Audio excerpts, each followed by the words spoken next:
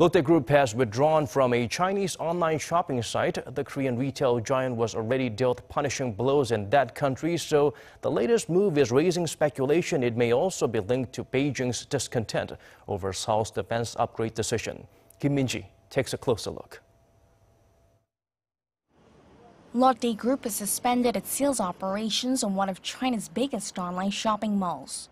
Lotte confirmed Thursday that it took down its flagship store as of January 12th on Tmall, an online mall operated by Alibaba Group. The closure comes at a time when relations between Seoul and Beijing have soured after Korea decided to deploy the U.S. THAAD missile defense system. China strongly opposes the deployment and has in recent months taken action seen as retaliation. It has banned the import of Korean cosmetics, which are popular in the Chinese market, and called off local performances by Korean artists. Lotte has denied that the store closing has any link to THAAD, but as the company providing the land to host the anti-missile battery, it's already been hit hard.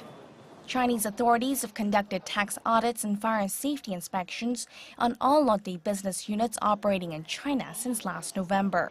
They've also put on hold the construction of a theme park in the northeastern city of Shenyang until what they call errors in the construction are fixed. But Beijing's foreign ministry has denied that the measure is in any way related to that. Lotte has also closed down three supermarket chains in China recently, although that is said to have more to do with sales performance than the THAAD issue. Kim Min-ji, Arirang News.